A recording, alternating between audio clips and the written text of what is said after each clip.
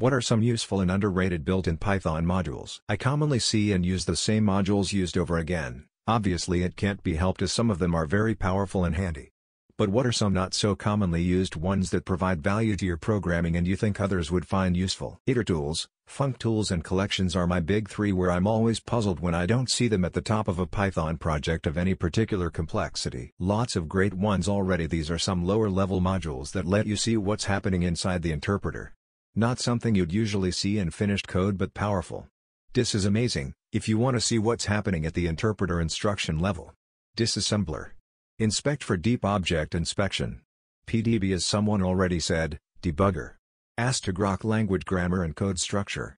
And low level but not the same as the above types if you want to interface with compiled binary code. Struct also useful for compiled binary code, converting from bytes to C structs. Edit added links and struct now that I'm not on mobile.